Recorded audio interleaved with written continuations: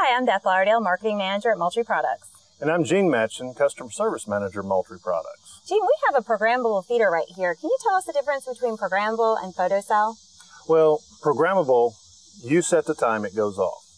You can set it to go off up to six times a day. It's your preference.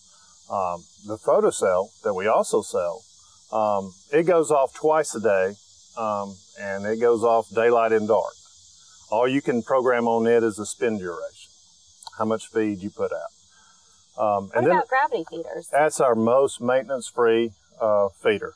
You set it up, put the corn in it, and then as the deer eat the corn, it gravity fills it back up. No batteries or timers needed. Oh, no batteries, nothing. Great. For more information, check us out at the web at moultriefeeders.com.